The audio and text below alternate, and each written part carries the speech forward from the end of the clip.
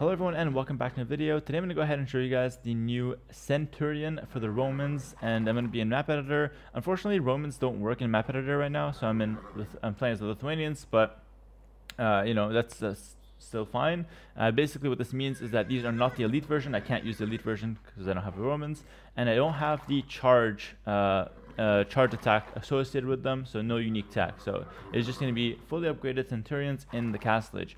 But still, this unit is so beastly. We're going to go ahead and break down the stats, and then I'm going to show you guys how it faces against the Knights and against this kind of like Pikeman crossbow mix. And then I'm also going to show the other unique unit, the Dromon. I can't show the Legionary, which is the unique unit infantry. Uh, it's kind of like the champion, because uh, again, that's not really available as far as I know. Uh, so yeah, we're going to go ahead and uh, show you guys how these guys fare. But first, let's take a look at these absolutely beastly stats. 13 plus 2 damage, guys. That is the same amount of damage as a Leitis. 13 base, plus 2 is 15 total. They have the same armor as a knight, and then they have one extra pierce armor than a knight. So if you can see the, the difference between them, 13 plus 2, 10 plus 2, 2 plus 2 is fine, 2 plus 2 is here, and then 3 plus 2, and only 2 plus 2 pierce armor. And then lastly, the biggest thing in my opinion, 140 HP uh, from getting bloodlines and then the base 120 HP. Crazy unit. There's not a single cav unit in the game that is as good as this in Castle Age. By far the best Castle Age cavalry unit we have. Maybe the Coustillier could be somewhat comparable, but Centurion should just be overall way better. And yeah, that, you know, enough talking. Let's go ahead and patrol these guys in. Gonna go ahead and patrol the knights. 40 on 40, by the way. Obviously, the Centurions cost more, but whatever. For the sake of this video, uh, we're gonna oh, we're gonna just do 40 on 40. And uh, I expect an absolute blood bloodbath here, to be honest, because we just have the same stats, but 20 extra HP and 3 more damage. So we have no stat that's lower, so this should be an absolute mop-up, and indeed it is. So yeah, like I said, this isn't like the same cost. Obviously, our units are more expensive. We also need to make a castle for them, but absolute insanity 31 of my units remain. This is ridiculous. This is by far the strongest cavalry unit in the game. It jumps straight into number one slot, no doubts in my mind. And it might be actually worth to go for a unique unit with the Civ. Keep in mind the Romans are going to come to multiplayer in a later patch. So when I heard that, I got super motivated. You know me, I'm a competitive multiplayer kind of guy, ranked kind of guy.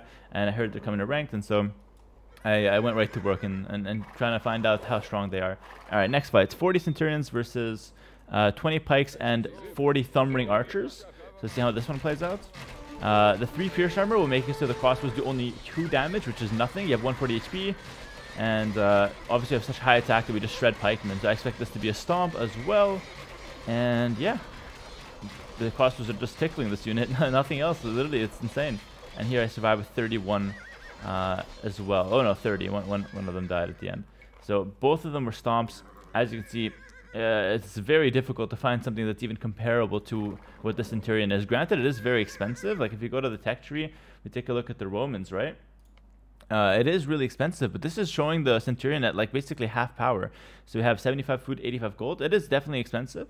Um, but apparently it has a resistance to uh, to monks or some, someone told me that. Is that true? Let me know because I think monks are the only counter to this unit. Nothing else really will work, if I'm being completely honest. And then even, uh, you know, with, um, uh, this is without any, uh, the unique tech. So if you see the unique tech here, Militia Line, Knight Line, and Centurions train 50% faster and receive a charge attack. So I don't, all three of these units receive charge attacks. That's so broken. And then they train faster, which is crazy. Obviously, it's again really expensive, but this is just 100% broken.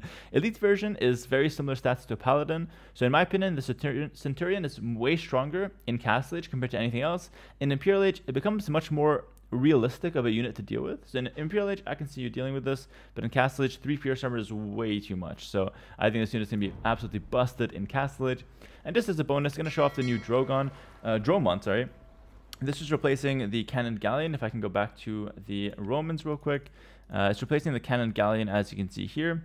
Um, so yeah, you have the Dromon, no Cannon Galleon, and a few other civs got this as well. Like if you see, uh, I think Huns, they also, yeah, they also got the Dromon and no Cannon Galleon. So it's a pretty important unit to get familiar with.